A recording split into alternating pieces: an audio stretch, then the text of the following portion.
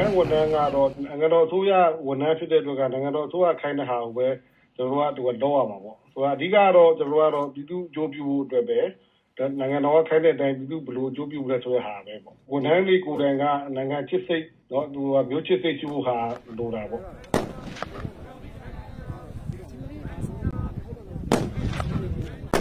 အာဏာသိမ်းပြီးတဲ့နောက်နိုင်ငံတော်ဝန်စစ်မျက်နှာဖွင့်ထားရပြီးအင်အားပြုံးနှိမှုတွေနဲ့ရင်ဆိုင်နေရတဲ့စစ်ကောင်စီတပ်ဟာ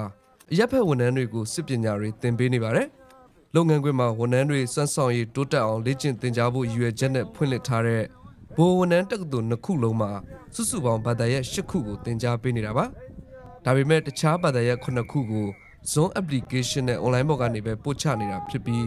စစ်ပညာတစ်ခုတည်းကိုသာဝန်ထမ်းတွေကိုမြေပြင်မှာလက်တွေ့သင်ကြားနေတဲ့အကြောင်းမြန်မာနောင်ကစုံစမ်းသိရှိရပါတယ်။တကြောပြန်ဆက်အာဏာသိမ်းတဲ့2021ခုနှစ်ကစတင်ပြီး ဝန်ထမ်းတွေကိုအခုလိုအခြေခံစစ်ပညာတွေပြန်လည်သင်ကြားနေတာဖြစ်တယ်လို့ပြည်အောင်စုရာရုံးအဖွဲ့ရဲ့ညွှန်ကြားရေးမှူးချုပ်ဖြစ်သူ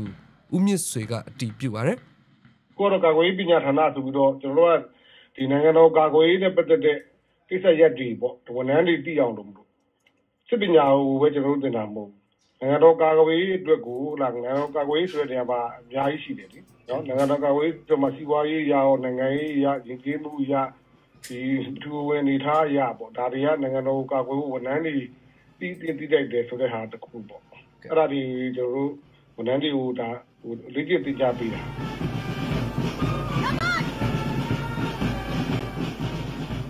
ဇီးပင်ကြီးနဲ့ဖောင်ကြီးဆိုပြီးလူသိများတဲ့ဝန်ထမ်းလေ့ကျင့်ရေးတက္ကသိုလ်နှစ်ခုစလုံးဟာပြည်တော်သူရာထူးအဖွဲ့ရဲ့လက်အောက်မှာလဲပတ်နေတာဖြစ်ပါတယ်။စေအုပ်ချုပ်ရေးကာလဗိုလ်ချုပ်ကြီးနေဝင်းဗိုလ်ချုပ်မူကြီးတန်းရွှေလက်ထက်ကနေ ဗိုလ်ချုပ်ကြီးဟောင်းဦးသိန်းစင်ဆွဲလက်ထက်အထိစစ်ပညာအခြေခံသဘောတရားတွေနဲ့တင်ကြားခဲ့တဲ့ဇီးပင်ကြီးနဲ့ဖောင်ကြီးဟာ2016ခုနှစ်ဒေါန်ဆန်းစုကြည်ဦးဆောင်တဲ့ NLD ဆွဲလက်ထက်မှာတော့ပြောင်းလဲမှုတချို့ဖြစ်ပေါ်ခဲ့ပါတယ်။ NLD ဆွဲလက်ထက်မှာစစ်ပညာသင်တန်းတွေကိုဖျက်သိမ်းခဲ့သလိုအရင်ကတူညီဝတ်စုံတွေဝတ်ဆင်ရပေမဲ့သက်ဆိုင်ရာဌာနအလိုက်ဝတ်ဆင်ရတဲ့အဝတ်အစားတွေကိုဝတ်ဆင်ခွင့်ပြုခဲ့ပါတယ်။ဒါပေမဲ့အစဉ်အဆက်ဝန်ထမ်းတွေကိုဝါဒဖြန့်မိုင်းသွင်းတဲ့နိုင်ငံရေးသိပ္ပံအမိခံပို့ချချက်တွေကိုတော့ ဆက်လက်တင် जा နေခဲ့ပါတယ်။စစ်တပ်အာဏာသိမ်းမှုတွေဟာနိုင်ငံတော်ကာကွယ်ဖို့ဖြစ်ကြောင်းစစ်တပ်ကကလပ်ဖန်လုပ်ပြီးအတီးပြုတ်ခဲ့တဲ့2008ဖွဲ့စည်းပုံအခြေခံဥပဒေဟာပြည်သူတွေရဲ့လူလားချက်နဲ့ပေါ်ပေါက်ခဲ့တာဖြစ်ကြောင်းနဲ့နောက်ဆုံးမွတ်စလင်မုန်းဒီရေးနဲ့စစ်တပ်ကဖန်တီးတဲ့မဘာသာလှုပ်ရှားမှုတွေအပေါ်အကောင်းမြင်အောင်ဝန်ထမ်းတွေကိုပို့ချနေကြတာပါအခုတော့တကြောပြန်အာဏာသိမ်းမှုနဲ့အတူဇီးပင်ကြီးဖောင်ကြီးတင်နန်းတွေကိုလည်း2010မတိုင်ခင်အာဏာရှင်ဟောင်းဗိုလ်ချုပ်တန်းရွှေရဲ့လက်ထက်ကလိုပဲ စစ်တပ်ကဝန်ထမ်းတွေကိုပြန်ပြီးတော့ပုံစံသွင်းနေပါပြီအခုနှစ်ဆန်းပိုင်းကဇီးပင်ကြီးတင်နန်းကိုတက်ရောက်ခဲ့တဲ့လုံခြုံရေးအရအမည်မဖော်လို့သူနေပြည်တော်ကဝန်ထမ်းတဦးကတော့စစ်ပညာတွေတင် जा ပုံကိုသူကအခုလိုပြောပြပါဗျ။အစီအပြကဘာလို့တော့တော့သူတင်ပြီးတဲ့လမ်းလျှောက်တာလေအလေးပြူတာတွေအဲတနတ်ထန်းတွေအဲလမ်းလျှောက်ရနေပြီးတော့လေးပြူတဲ့ဟာတွေအဲ့ဒါကြီးလောက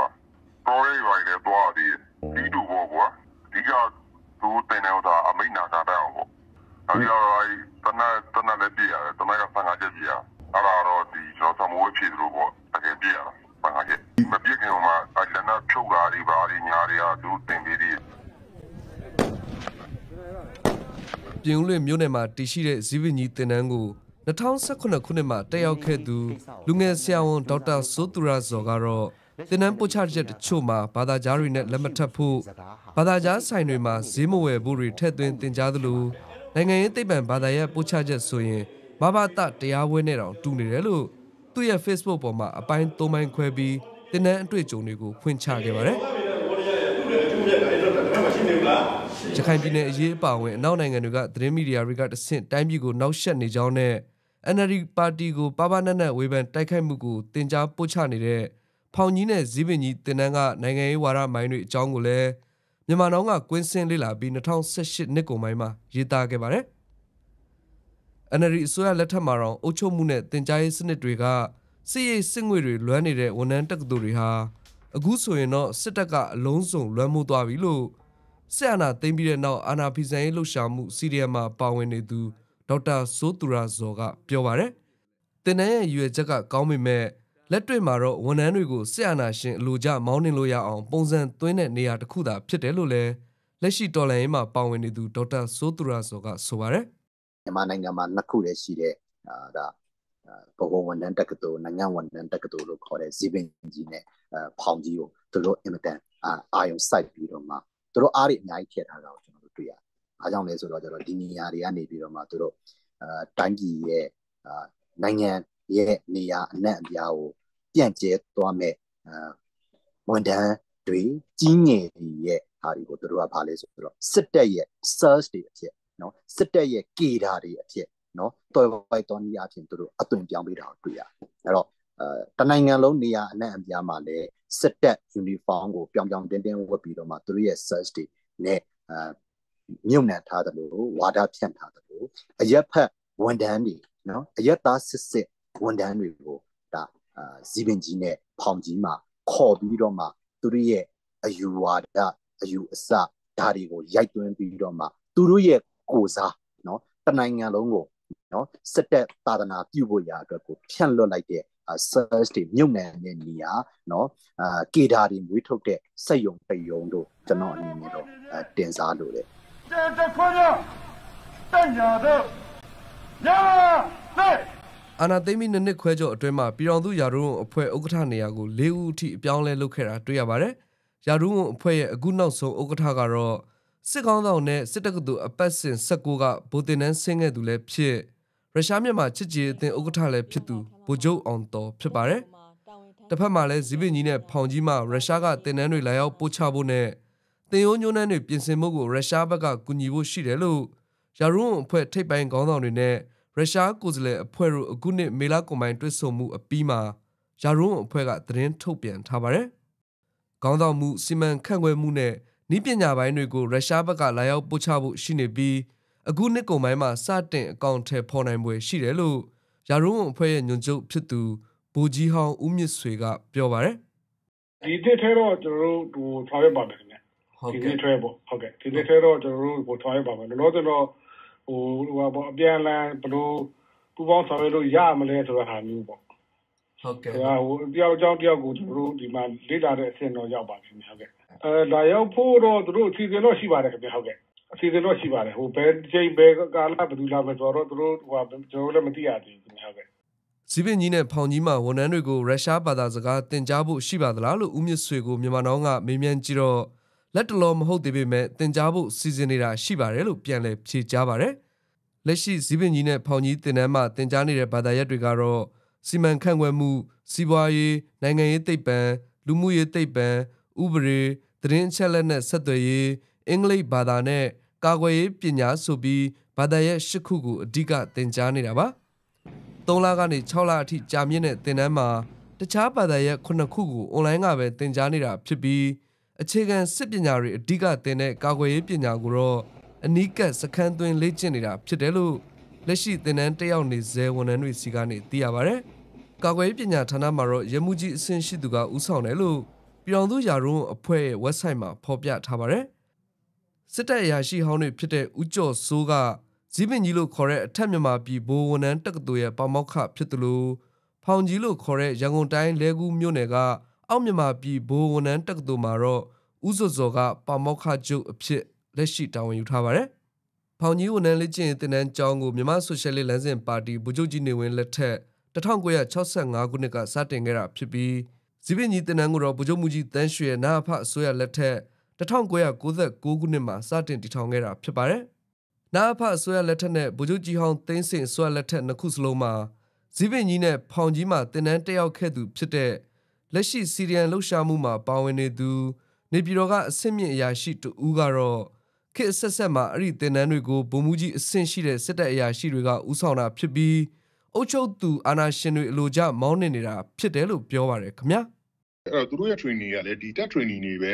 တောက်လျှောက်ဖြစ်နေပြီးတော့အုပ်ချုပ်မှုမှာလည်းအဲ့လိုတင်နန်းသားနဲ့တင်နန်းဆရာ relation အစပေါ့နော်အဲ့ဒါအကုန်လုံးက ဟိုတက်ပုံစံလုံးဝပေါက်နေဖက်တွေလောက်ရတယ်ဖက်တွေလောက်မျက်နှာရတယ်မျက်ပေါက်ရတယ်ဘာညာပေါ့နော်တန်ရှင်းလောက်ရတယ်အဲ့လိုမျိုးပေါ့ဖက်တွေဒါစစ်တင်တန်းရဲ့ပုံစံတိုင်းပဲအဲ့ဒါကဘာလဲဆိုတော့တင်နန်းနေကိုအုပ်ချုပ်နေတဲ့အကြောင်းအကြီးပေါ့နော်သူတို့ဟောဘောင်ဟောကျုပ်ကလည်းဘုံမှုကြီးတွေကြီးပဲပြောရမယ်ဆိုတော့ဒီကောင်တွေကိုယ်တိုင်ကပုံစံကွက်ထက်ထွက်လာတဲ့ကောင်တွေပုံစံကြခေါ်ကြိုးတွေဆိုတော့သူတို့လုပ်တဲ့အလုပ်တွေကလည်းဒီပုံစံကြခေါ်ကြိုးနဲ့သူတို့လုပ်ဖူးတဲ့ဟာကလွဲလို့လည်းသူတို့ပို့ပြီးတော့မလုပ်တတ်ဘူးပေါ့နော်အဲအဲ့လိုမျိုးတွေဖြစ်လာ အဲ့လိုမျိုးတွေဖြစ်လာတာကနေပြီးတော့အခုနောက်ဆုံးချိန်တွေကတော့ဒီမဟာလာတို့အာနာသိန်းရဲ့နောက်ပိုင်းမှာဟိုအခြေအနေကကြောင်းသွားပြီးတော့ဒါ NLD သူတို့ကခုနပြောဖောင်ကြီးတစ်ခုတည်းဇီးမီတစ်ခုတည်းမဟုတ်ပါဘူး NLD ဘာလုပ်ခဲ့လဲ NLD လုပ်ခဲ့သမျှကိုဟိုပြောင်းပြန်လှန်မယ်တင်တန်းနေမှာစီးရီးပြတွေကို NLD ဆိုအဖြုတ်ခဲ့တော့ငါတို့ကပြန်ထည့်မယ်အဲဘာမှမဟုတ် NLD ဘာလုပ်လဲလုပ်ခဲ့သမျှအကုန်ပြောင်းပြန်ပြန်လှန်မယ်ငါတို့တုန်းကလုပ်ခဲ့တာကို NLD ဘာပြန်ပြောင်းပြန်လှန်တယ်လဲပေါ့ NLD ပြောင်းပြန်လှန်တဲ့ဟာတွေကိုအကုန်ဖြုတ်မယ်ငါတို့တုန်းကဟာတိုင်းပဲပြန်သွားမယ်ဆိုတဲ့ မူရင်းနဲ့ခုနပြောပေါ့နော်ဟိုနောက်တော့လန်ချီမြန်မာပြည်ဟိုမူနဲ့လောက်တာပဲ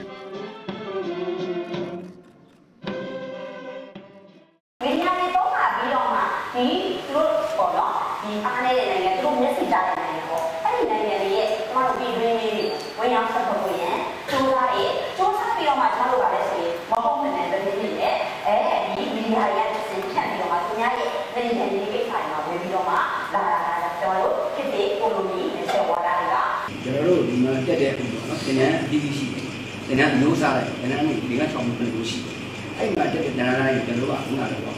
အတီးတီးကိုပုံပြီးတဲ့ဝန်ထမ်းကောင်းတွေဖြစ်အောင်နော်ဒီဒီကိုအများအား service delivery ပေးနိုင်တဲ့ဝန်ထမ်းကောင်းတွေဖြစ်အောင်ကိုနေရာရရင်နေရာရတယ်လို့ပြောတယ်တကယ်ဒီမျက်နှာကိုကြည့်ပြီးတော့တကယ်ကိုနိုင်ငံတော်အတွက်ပြည်သူအတွက်အားထားရတဲ့ဝန်ထမ်းကောင်းတွေဖြစ်အောင်ဘယ်လိုအစိုးရပြောင်းပြောင်းပြောင်းလာတော့နိုင်ငံဝန်ထမ်းဖြစ်တဲ့ခုနကတော့ဒီ mechanism ကြီးကအများအား ခိုင်မာနေမှတောင်းရင်းနေမှနော်နိုင်ငံတော်ကြီးပြတိုးတက်မှဖြစ်တဲ့အတွက်ကိုနော်ပြည်သူကိုကြည့်ပြီးတော့မှပြည်သူကိုဘုံကူတဲ့နော်ကောင်းပြီးတော်တဲ့ဝန်ထမ်းကောင်းတွေအများအားဖြစ်အောင်ကြိုးစားကျွန်တော်တို့အကြောင်းကြီးရနေပြီးတော့မှအများအားတွင်တင်ဆုံးမှပြီးတော့မှမိုက်ချက်တွေကြောင်းဒါတွေကိုတင်ပြပေးနေပါတယ်ဆိုတာလေးကိုဒါလေးကိုအတိအကျကြားကြည့်ဟုတ်ဒီတင်ကြားနေရာတွေကကျွန်တော်ငါးလက်ချုပ်တန်းတော့တင်ကြားခဲ့တာပါလေနော်အဲ့ဒါတွေကိုပြန်ပြီးတော့တင်ကြားဥပမာအားဖြင့်ဒီဟာကိုလိုနီစနစ်ပေါ့ ဒုတိယ